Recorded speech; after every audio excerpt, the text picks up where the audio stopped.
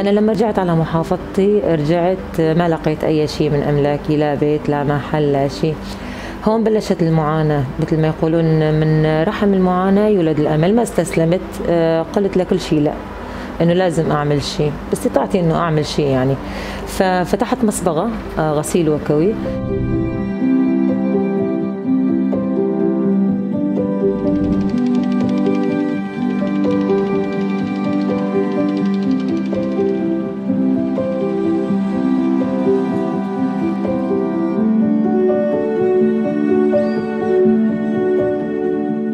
بنيت بيتي المدمر آه، قويت عيلتي.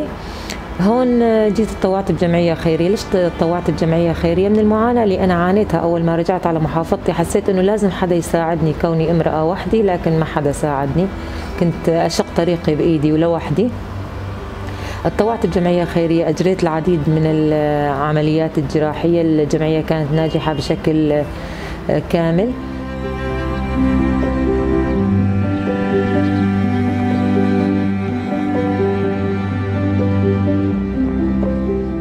دعمي من أصحاب الأيادي البيضاء التجار. تكفلت بمرضى السرطان الأيتام حصرا مساعدة للأرملة.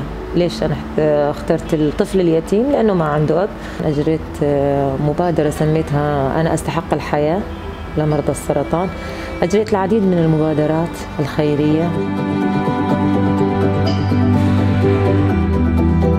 أوجه رسالتي لكل امرأة أنت تستطيعين أن تقومي بأي شيء. أبحثي عن الهدف ولو خلف الأبواب المقفلة.